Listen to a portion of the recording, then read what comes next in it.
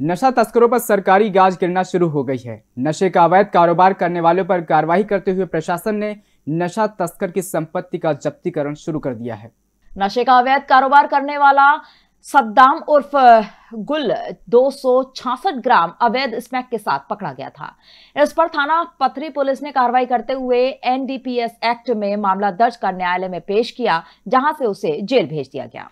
मध्य प्रदेश की महिलाओं के आर्थिक सशक्तिकरण के उद्देश्य से संवेदनशील मुख्यमंत्री शिवराज सिंह चौहान द्वारा मुख्यमंत्री लाडली बहना योजना का उपहार सभी पात्र महिलाओं को दिया गया है। इसके तहत उन्हें प्रति माह एक हज़ार रूपए दिए जाएँगे। ये राशि सीधे उनके बैंक खातों में पहुंचाई जाएगी। योजना की प्रक्रिया बेहद सरल और निशुल्क है। योजना से जुड़ने के लिए बहनों को कहीं भटकने की आवश्यकता भी नहीं है। दस जून को पहली किस्त बहनों के खाते में आ जाएगी एक हज़ार रुपया की पहली किस्त।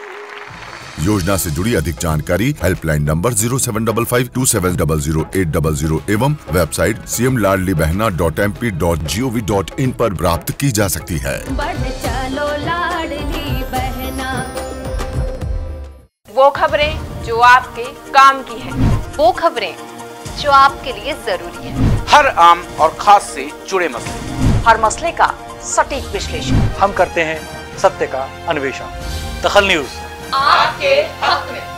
आप देख रहे हैं दखल न्यूज़।